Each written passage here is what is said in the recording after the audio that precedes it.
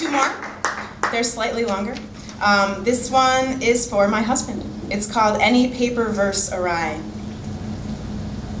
The straight path to a paradise whips through factories building doll houses and miniature cars, not replicas but decoys, filigreed with destruction, false power of an even falser reality, Welcome tap of foot on path, unbegrudging adoration for bodies in motion, obvious and persevering in their passions, past rows of production on some smaller scale, onward toward one place, past forgetting and underneath constructed surface material, tended as with wishes for good harvest, beyond bound to bounty as in evergreens, the tenacity of burdock, from blind following a need for naught but revolving, revolution, the pure, deep oblivion of tenderest ambivalences, wet metal aphrodisiac, still rust-proof, unmarred, bare as the dollhouse frame, then layered in gazes, and the injury of marked demand or toy chassis,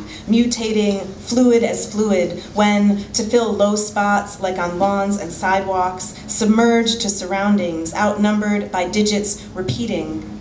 leaves or plumes, cloying lilac or honeysuckle blown in, into smokestacks and out as fantasy, plastic yet remarkably sturdy, worth study as is the texture of membranes between worlds, pink-hued afternoons dawning white-sheeted night, removed not by distance so much as settlement, homestead of wilderness in ordering, for no stock room, nor wood cellar, nor way of solicitation, coming again here and here, misnamed Eden, or mastery of fabrication, walkway's edge, daisies and chicory, torrents of waves blooming, the guardians of solitude.